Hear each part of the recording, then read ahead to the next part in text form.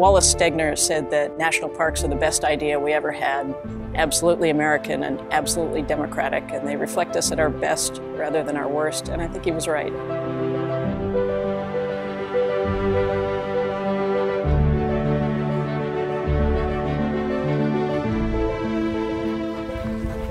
In the National Park Service, we have an inventory and monitoring program that's tasked with monitoring specific and important natural resources in the park. So inventory and monitoring can be kind of technical terms. What does that even mean in a natural landscape? But they're hugely important to us as the people responsible for taking care of this place. So the first inventory is just that question of what's even here? That's a great question and one that we hadn't really dealt with before the inventory program came along. What plants are here? What animals? How many? Where? How has that changed over time? And that change over time gets us into monitoring. So we're responsible, our legislation says that we have to preserve these places unimpaired for future generations. We call our program the Vital Signs Monitoring Program because it's like monitoring vital signs in humans. For example, we monitor blood pressure, pulse rate, your body temperature, cholesterol levels, your blood chemistry, in order to understand what are the baseline values for an individual or a population, and then when are those values going outside what you would consider normal and when you need to be concerned, when you might need to actually do something about it. So that's essentially what we do for park resources, plant communities, animal communities, understanding physical habitat and environmental conditions.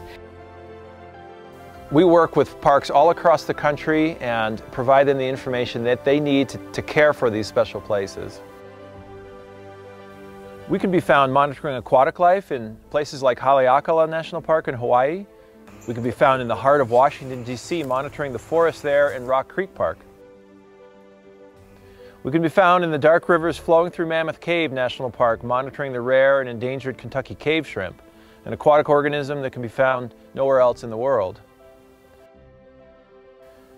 While we are monitoring rocky intertidal zones in Acadia National Park in Maine, at that same time, over 3,000 miles away, we have people monitoring rocky intertidal zones in Cabrillo National Monument in California.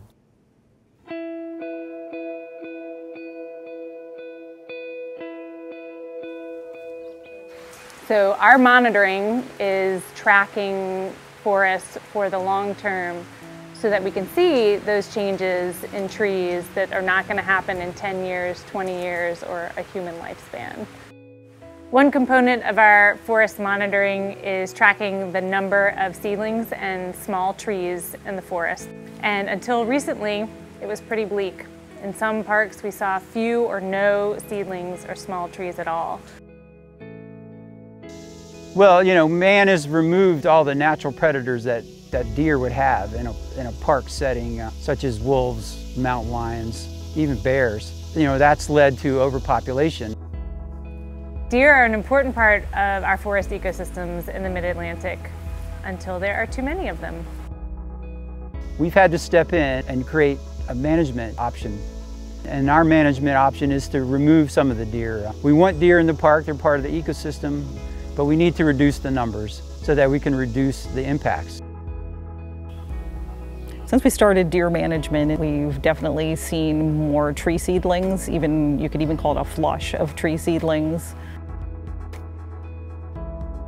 We've found plants that haven't been found for sometimes decades in the park.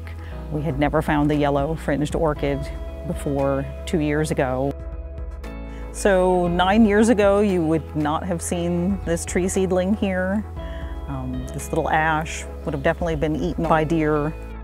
And the small trees are really important because those are our future big canopy trees. It's the future of the forest.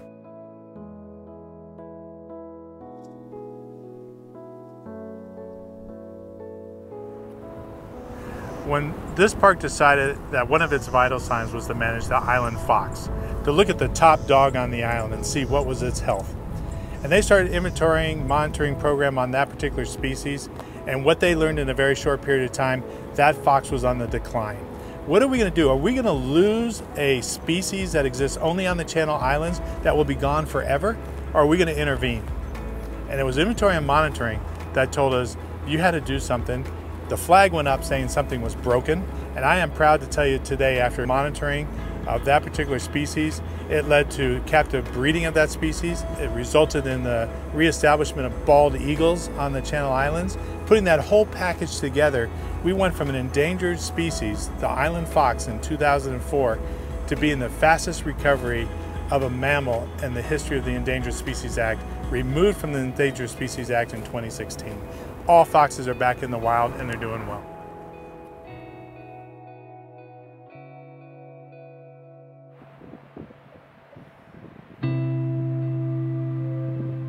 So understanding the ecology of national parks is vital to what we do. It's vital to what I do as a park manager. When I'm making decisions about how we're going to manage the park, how we plan for the future, how we ensure these animals are here for future generations to enjoy, uh, understanding what's going on on the ground with the wildlife is absolutely critical, and that's what inventory and monitoring does for us.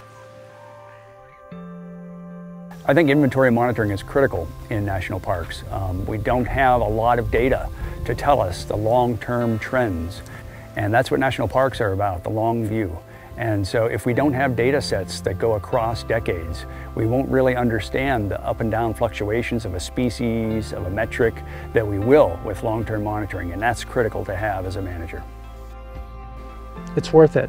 It's not only worth it, it's indispensable. I don't think we can be effective managers and stewards and fulfill our responsibility without that kind of data. It's such an awesome mission, and I feel a heavy sense of responsibility to ensure that what we offer to the public here, what belongs to the public is sustained in good health. And we want to invest our effort in things that are truly going to make a difference in the preservation of these great landscapes.